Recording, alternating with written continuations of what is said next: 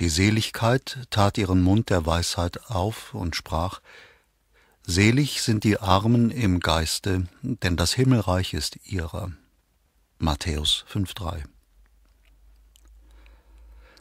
Alle Engel und alle Heiligen und alles, was je geboren ward, das muss schweigen, wenn die Weisheit des Vaters spricht, denn alle Weisheit der Engel und aller Kreaturen, das ist ein reines Nichts vor der grundlosen Weisheit Gottes. Diese Weisheit hat gesprochen, dass die Armen selig seien. Nun gibt es zweierlei Armut, eine äußere Armut, und die ist gut und sehr zu loben, an dem Menschen, der sie mit Willen auf sich nimmt, aus Liebe zu unserem Herrn Jesus Christus, weil der sie selbst auf Erden gehabt hat. Von dieser Armut will ich nicht weitersprechen. Indessen, es gibt noch eine andere Armut, eine innere Armut, die unter jenem Wort unseres Herrn zu verstehen ist, wenn er spricht, Selig sind die Armen im Geiste. Nun bitte ich euch, ebenso arm zu sein, auf dass ihr diese Rede versteht. Denn ich sage euch bei der ewigen Wahrheit, wenn er dieser Wahrheit, von der wir nun sprechen wollen, nicht gleicht, so könnt ihr mich nicht verstehen. Etliche Leute haben mich gefragt, was denn Armut in sich selbst und was ein armer Mensch sei. Darauf wollen wir antworten. Bischof Albrecht sagt, das sei ein armer Mensch, der an allen Dingen, die Gott je erschuf, kein Genügen habe. Und das ist gut gesagt. Wir aber sagen es noch besser und nehmen Armut in einem noch höheren Verstande. Das ist ein armer Mensch, der nichts will und nichts weiß und nichts hat. Von diesen drei Punkten wollen wir sprechen, und ich bitte euch um der Liebe Gottes willen, dass ihr diese Wahrheit versteht, wenn ihr könnt. Versteht ihr sie aber nicht, so bekümmert euch deswegen nicht, denn ich will von so gearteter Wahrheit sprechen, wie sie nur wenige gute Leute verstehen werden. Zum Ersten sagen wir, dass der ein armer Mensch sei, der nichts will. Diesen Sinn verstehen manche Leute nicht richtig. Es sind jene Leute, die in Bußübung und äußerlicher Übung, was diese Leute für groß erachten, an ihrem selbstischen Ich festhalten. Erbarms Gott, dass solche Leute so wenig von der göttlichen Wahrheit erkennen. Diese Menschen heißen heilig aufgrund des äußeren Anscheins, aber von innen sind es Esel, denn sie erfassen nicht den eigentlichen Sinn göttlicher Wahrheit. Diese Menschen sagen zwar, das sei ein armer Mensch, der nichts will, sie deuten das aber so, dass der Mensch so leben müsse, dass er seinen eigenen Willen nimmermehr in irgendetwas erfülle, dass er vielmehr danach trachten solle, den allerliebsten Willen Gottes zu erfüllen. Diese Menschen sind recht daran, denn ihre Meinung ist gut, darum wollen wir sie loben. Gott möge ihnen in seiner Barmherzigkeit das Himmelreich schenken, ich aber sage bei der göttlichen Wahrheit, dass diese Menschen keine wirklich armen Menschen sind, noch armen Menschen ähnlich. Sie werden als groß angesehen in den Augen nur der Leute, die nichts Besseres wissen. Doch ich sage, dass sie Esel sind, die nichts von göttlicher Wahrheit verstehen. Wegen ihrer guten Absicht mögen sie das Himmelreich erlangen. Aber von der Armut, von der wir jetzt sprechen wollen, davon wissen sie nichts. Wenn einer mich nun fragte, was denn aber das sei, ein armer Mensch, der nichts will, so antworte ich darauf und sage so, solange der Mensch dies noch an sich hat, dass es sein Wille ist, den allerliebsten Willen Gottes erfüllen zu wollen, so hat ein solcher Mensch nicht die Armut, von der wir sprechen wollen, denn dieser Mensch hat noch einen Willen, mit dem er dem Willen Gottes genügen will. Und das ist nicht die rechte Armut.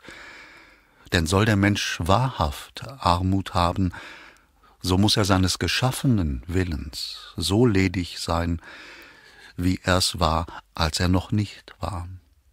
Denn ich sage euch bei der ewigen Wahrheit, solange ihr den Willen habt, den Willen Gottes zu erfüllen, und Verlangen habt nach der Ewigkeit und nach Gott, solange seid ihr nicht arm, denn nur das ist ein armer Mensch, der nichts will und nichts begehrt. Als ich noch in meiner ersten Ursache stand, da hatte ich keinen Gott, und da war ich Ursache meiner selbst. Da wollte ich nichts und begehrte ich nichts, denn ich war ein lediges Sein. Da wollte ich mich selbst und wollte nichts sonst. Was ich wollte, das war ich, und was ich war, das wollte ich. Und hier stand ich, Gottes und aller Dinge ledig. Als ich aber aus freiem Willensentschluss ausging und mein geschaffenes Sein empfing, da hatte ich einen Gott, denn ehe die Kreaturen waren, war Gott noch nicht Gott, er war vielmehr, was er war. Als die Kreaturen aber wurden und sie ihr geschaffenes Sein empfingen, da war Gott nicht in sich selber Gott, sondern in den Kreaturen war er Gott. Nun sagen wir, dass Gott, soweit er lediglich Gott ist, nicht das höchste Ziel der Kreatur ist, denn so hohen Seinsrang hat auch die geringste Kreatur in Gott. Und wäre es so, dass eine Fliege Vernunft hätte und auf dem Wege der Vernunft den ewigen Abgrund göttlichen Seins, aus dem sie gekommen ist, zu suchen vermöchte, so würden wir sagen, dass Gott mit alledem, was er als Gott ist, nicht einmal dieser Fliege Erfüllung und Genügen zu schaffen vermöchte. Darum bitten wir Gott, dass wir Gottes ledig werden und dass wir die Wahrheit dort erfassen und ewiglich genießen, wo die obersten Engel und die Fliege und die Seele gleich sind. Dort, wo ich stand und wollte, was ich war, und war, was ich wollte. So denn sagen wir, soll der Mensch arm sein an Willen, so muss er so wenig wollen und begehren, wie er wollte und begehrte, als er noch nicht war. Und in dieser Weise ist der Mensch arm, der nichts will.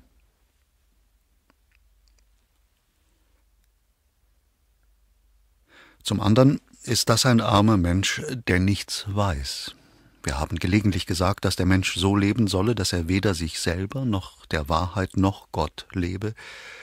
Jetzt aber sagen wir es anders und wollen weitergehend sagen, der Mensch, der diese Armut haben soll, der muss so leben, dass er nicht einmal weiß, dass er weder sich selber noch der Wahrheit noch Gott lebe.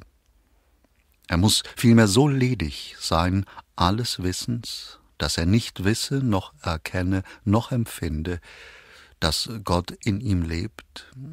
Mehr noch, er soll ledig sein alles Erkennens, das in ihm lebt.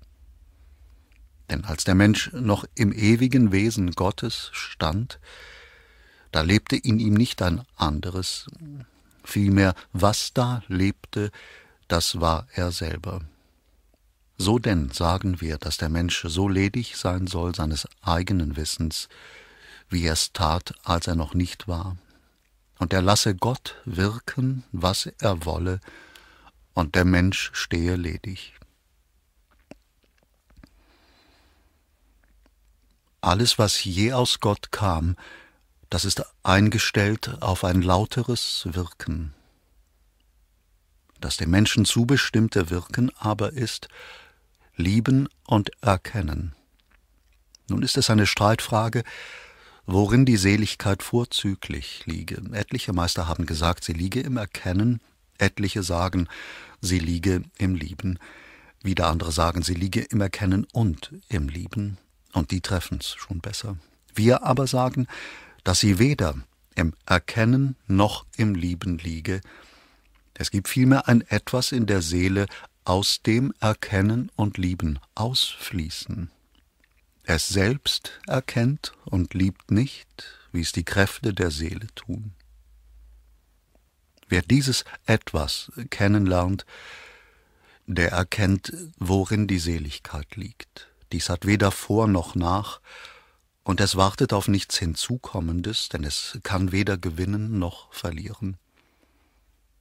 Deshalb ist es auch des Wissens darum, dass Gott in ihm wirke, beraubt, es ist vielmehr selbst dasselbe, das sich selbst genießt in der Weise, wie Gott es tut. So quitt und ledig also, sagen wir, soll der Mensch stehen, dass er nicht wisse noch erkenne, dass Gott in ihm wirke, und so kann der Mensch Armut besitzen. Die Meister sagen, Gott sei ein Sein und ein vernünftiges Sein und erkenne alle Dinge. Wir aber sagen, Gott ist weder Sein noch vernünftig, noch erkennt er dies oder das. Darum ist Gott ledig aller Dinge, und eben darum ist er alle Dinge. Wer nun arm im Geiste sein soll, der muss arm sein an allem eigenen Wissen, so dass er von nichts weiß, weder von Gott noch von Kreatur, noch von sich selbst. Darum ist es nötig, dass der Mensch danach begehre, von den Werken Gottes nichts wissen noch erkennen zu können. In dieser Weise vermag der Mensch arm zu sein an eigenem Wissen. Zum Dritten ist das ein armer Mensch, der nichts hat. Viele Menschen haben gesagt, das sei Vollkommenheit, dass man nichts an materiellen Dingen der Erde mehr besitze, und das ist wohl wahr in dem Sinne, wenn's einer mit Vorsatz so hält. Aber dies ist nicht der Sinn, den ich meine. Ich habe vorhin gesagt, das sei ein armer Mensch, der nicht einmal den Willen Gottes erfüllen will, der vielmehr so lebe, dass er seines eigenen Willens und des Willens Gottes so ledig sei, wie er es war, als er noch nicht war. Von dieser Armut sagen wir, dass sie die höchste Armut ist. Zum Zweiten haben wir gesagt, das sei ein armer Mensch, der selbst vom Wirken Gottes in sich nichts weiß. Wenn einer des Wissens und Erkennens so ledig steht, so ist das die reinste Armut. Die dritte Armut aber, von der ich nun reden will, die ist die äußerste Armut, es ist die, dass der Mensch nichts hat. Nun gebt hier genau acht. Ich habe es schon oft gesagt und große Meister sagen es auch.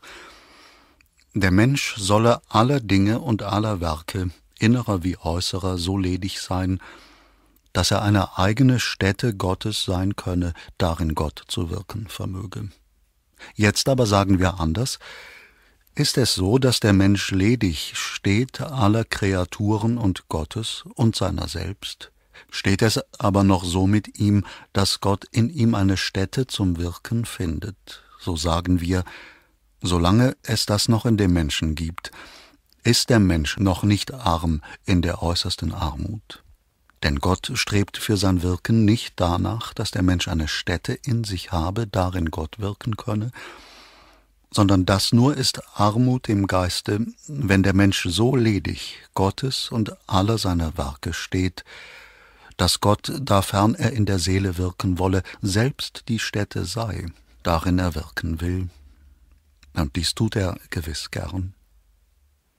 Denn findet Gott den Menschen so arm, so wirkt Gott sein eigenes Werk, und der Mensch erleidet Gott so in sich, und Gott ist eine eigene Stätte seiner Werke angesichts der Tatsache, dass Gott einer ist, der in sich selbst wirkt. Hier in dieser Armut erlangt der Mensch das ewige Sein, das er gewesen ist und das er jetzt ist und das er ewig bleiben wird.